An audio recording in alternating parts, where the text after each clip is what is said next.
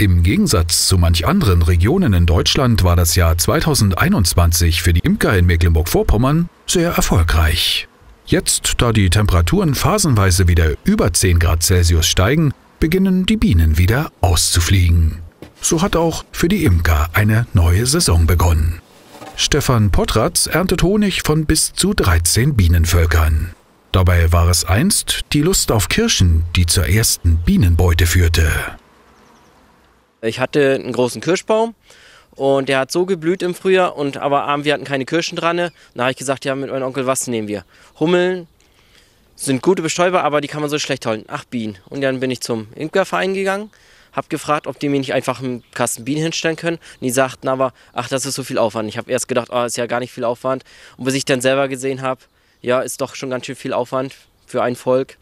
Und deswegen hat sich das jetzt auch gesteigert mit den Bienen dass man ein Volk, am besten man hält drei Völker, weil immer Winterverluste da sind.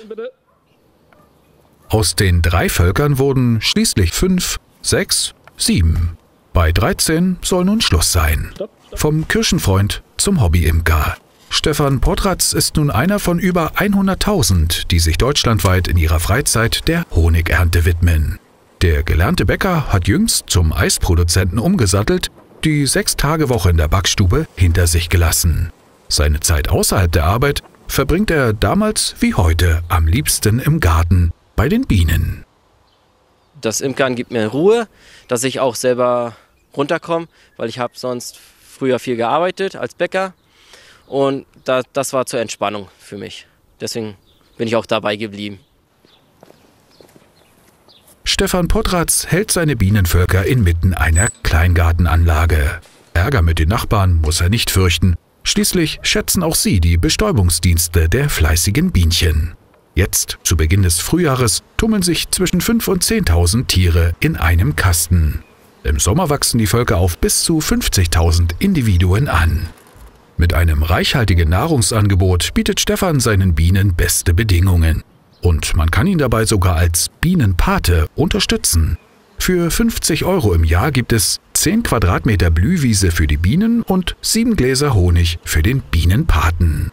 Darüber hinaus kann man sein Patenvolk beim Wachsen und Gedeihen beobachten.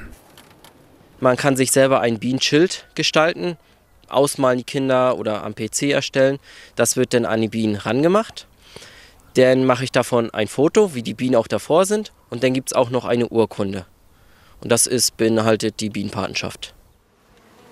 Wer Interesse an einer Bienenpatenschaft oder einem Glas Honig hat, findet Stefans Hobbyimkerei auf Facebook, auf Instagram oder direkt am Verkaufsstand. Das nächste Mal auf dem Familienfest der Neuwoges am 24. April an der hintersten Mühle.